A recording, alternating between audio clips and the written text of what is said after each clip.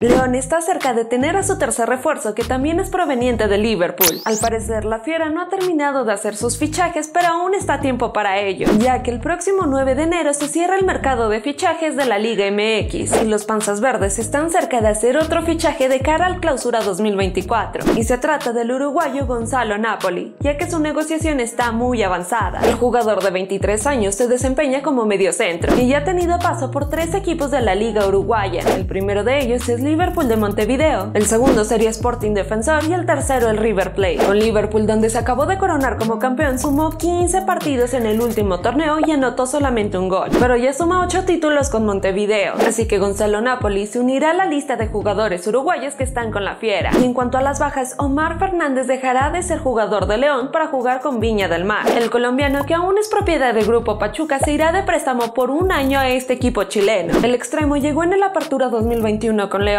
esto después de alcanzar las semifinales con la Franja de Puebla. Sin embargo, su desempeño no fue el esperado, así que tuvo un retorno con los Camoteros. Y en el segundo semestre del 2023 regresó con León y ahora se marcha con un rendimiento de 60 partidos y 4 goles. ¿Qué opinas de las bajas y altas que ha tenido León al momento? Déjanos tu opinión aquí en los comentarios.